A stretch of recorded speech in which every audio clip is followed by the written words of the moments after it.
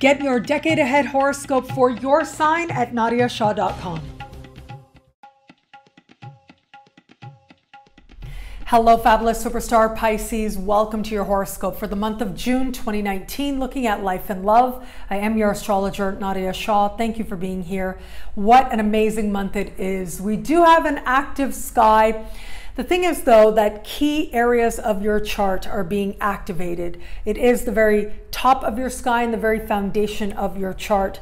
Now, you add to this, it is Neptune doing the big activations now. Neptune, of course, being your ruling planet and in your sign. All may not necessarily be clear, but you will connect to what matters most. And what matters most is the spirit of spirituality, of compassion, and of art. You may find your spiritual powers especially high right about now, but you'll be able to use them in a way that serves you and others.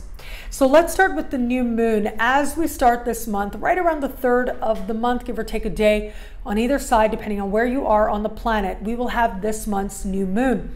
Now, this new moon will take place at the very foundation of your chart, the bottom of your sky, and it will be speaking with Neptune in your sign.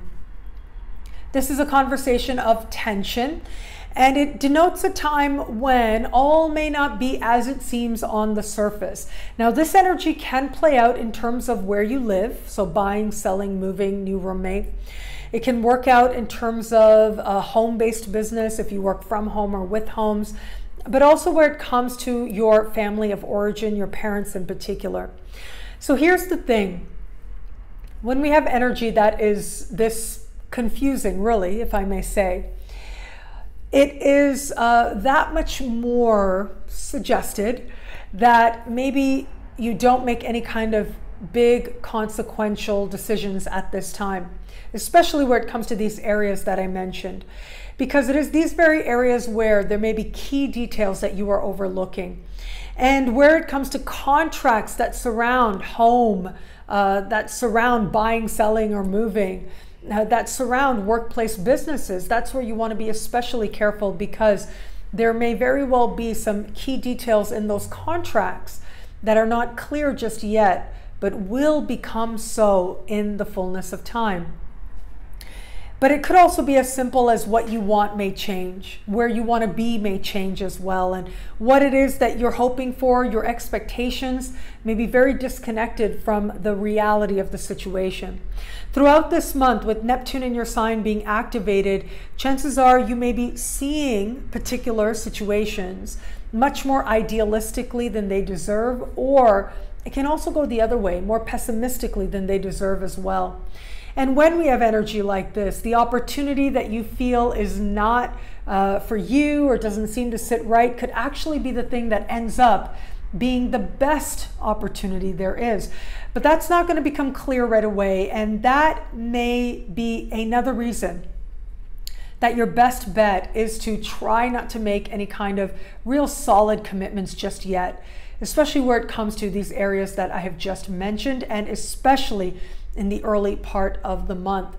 Now, it is going to be right around the 8th that Venus is going to move into this foundational part of your sky as well. There'll be a lot of love on the home front. So that's really great. It's great in terms of uh, wanting to beautify your home as well.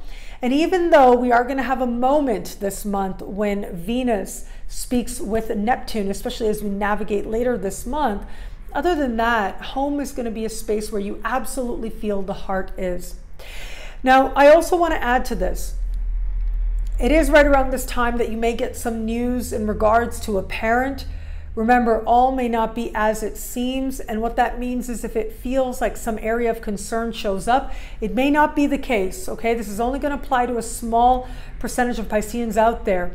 But if it feels like there is some area of concern where it comes to a parent or someone in your family of origin, uh, know that it would be very wise and very good to wait things out a little bit to get another opinion because things could look very different in just a few weeks' time. Now, I'm not promising you that you'll get a clear answer in a, a snap right away. And the reason for that is that as we navigate later into the month, right around the 20th is when Mercury will enter shadow, which means Mercury retrograde is next month, right around the corner. And so this adds another layer to the fact that the information may not be correct this month that you get, but there's every reason for hope. There's every reason for faith that things will turn out remarkably well. Now, as we navigate further into the month, right around the 18th is when we are going to have a full moon.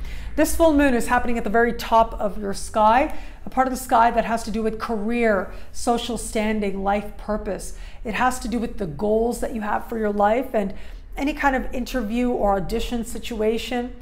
It's also a part of the sky that has to do with rewards and accolades as well.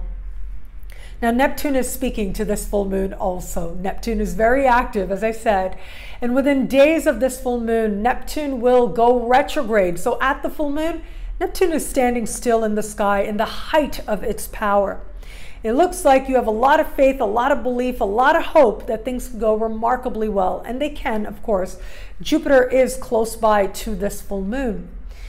However, there again may be some key details there that are not being seen clearly. And so it would be a good approach at this time to practice gratitude, to practice humility. The opportunity that you think is the one for you and the greatest thing that could happen may actually turn out to be something very different. The opportunity that you feel is not for you and you're not really sure about it could turn out to be the best thing. But it's not going to be clear just yet. And so, where possible, pace yourself. Try not to make any kind of real solid agreements. Avoid signing contracts if you can. I understand that's not always possible, and in that case, you have to trust your life. You'd be amazed how often we can actually change our mind, even when we tell ourselves that we can't. Very often we can. But what is really phenomenal about this energy is that it encourages you to look at your own fears where it comes to what it is that you hope to achieve, the goals that you have for your life, how high it is that you desire to go, and what legacy you hope to create for yourself. It is a month like this that asks you to connect with a voice that is more honest, more true, that asks you to align with a higher, more loving vision for your life, to see past your fears, to see them for what they are just fear, and instead align with spirit, align with soul, and the compassion that you bring to others. Make sure that you're shining it on yourself as well, because that ultimately will be the thing that shines your pathway forward. Where it comes to matters of love, I'm being brought back to that Neptune in the height of its energy, the height of its power, but also you'll be seeing things much more idealistically, filled with hope and filled with a desire to be swept away. Now, you may actually be swept away with a month like this uh, in emotion, in desire, in romance, as well as Neptune is considered the higher vibration of Venus. However, there's not a lot of grounded energy here just yet. I do really like that Neptune and Saturn are going to be holding a beautifully harmonious connection. I think this bodes well for the bigger picture, the longer term. But this ultimately means that the stability is within you, that the stability is ultimately going to be found within yourself through your friends who are going to remind you of what it means to have a more balanced perspective. So when you feel like you're getting carried away on hope, on wishes, on romance as well, make sure you're sharing your journey with people that you trust because they will provide you with that just right counterpoint to keep you a little grounded. Just a little, not too much so that you don't enjoy it, but enough so that you're able to decide the best course of action for you. For those of you who are open to meeting someone new, yes, being swept away, very possible under a sky like this. Venus will move into this foundational part of your sky where we will have the new moon early this month. And what that says is that the past may beckon and it may very well be a spirit of nostalgia that is there. Some of you might even connect with someone that you cared about in the past. For those of you who are getting to know somebody, um, if you are just starting to date somebody, this is going to be a sense of wanting to be more familiar with this person, wanting to be more at home with this person. Now, the connection may or may not actually be there if I'm being straightforward with you, but it looks like you're having fun in the journey of finding out. And for those of you who are in an established bond, uh, what a powerful time to be at home together. There may be a lot of wishing, there may be a lot of hope, but there can also be heightened expectations that maybe cannot necessarily be met. But you will, of course, come to understand each other more and navigate your pathway forward. What I love about this month for you, I'm going to say Neptune going retro in your sign. Now, I know that probably no other astrologer would say that to you. Why would that be something to love? It's so ungrounded in energy, but it can also be positively inspired. It can be an energy that reminds you to dream and that it's okay to get carried away. Of course, you're going to want to watch your own emotions. Make sure that you are balancing them out with that counterpoint that I mentioned.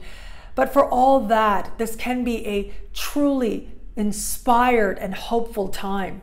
A time where you come to understand that there is love in the world for you, but most of all, there is love within yourself. Well, thank you so much for watching. You can get a video like this every week by logging on to nadiyashah.com. Sign up to be one of my superstars. Superstars get expanded exclusive video scopes each and every week, unlimited access to special horoscopes and more. All of this in the superstar space. I look forward to meeting you there. It'll be a great month. Enjoy.